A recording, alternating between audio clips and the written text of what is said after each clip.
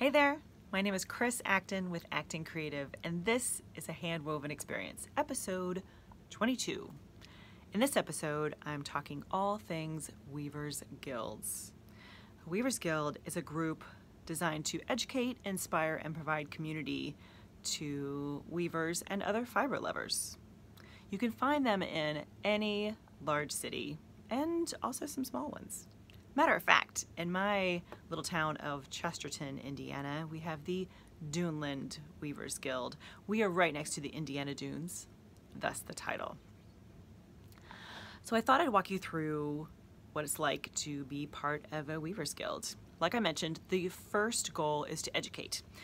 At our monthly meetings, they bring in a speaker. Could be someone internally, could be from outside of the group, but they'll discuss different topics different types of weave structures, maybe interesting fibers, maybe a little history, could be anything. But these topics are things that I might not have researched on my own, so it's always fascinating to hear what they have to say.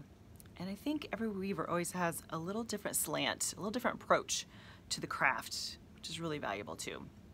So the second goal of the group is to inspire we always have show and tell at our meetings. And it's just what it sounds like. You know, when you were a kid and you brought in like your favorite stuffed animal, that kind of show and tell. Except in this case, people are bringing in unbelievable woven projects.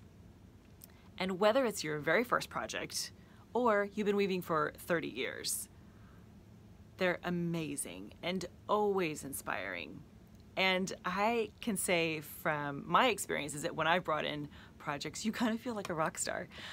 People in the audience are like, hey, what fiber did you use? What's the set of the project? Can you pass it around so we can feel it? I mean, they're so excited and encouraging.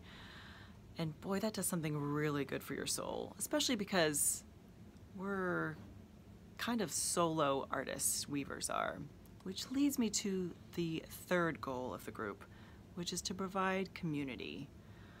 Like I mentioned, weavers typically work alone.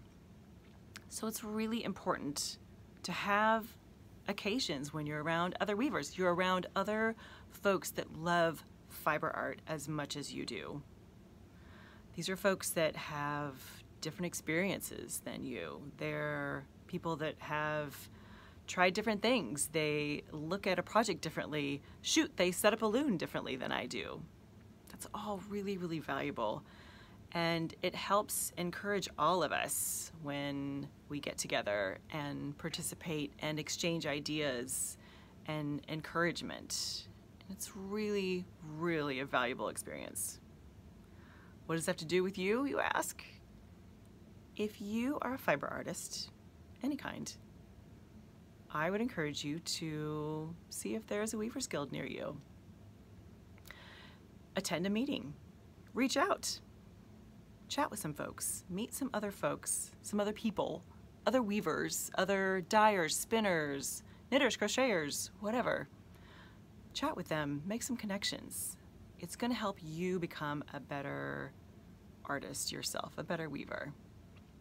And at the very least, check out some websites. The Duneland Weavers Guild has a wonderful website full of lots of images and tons of information.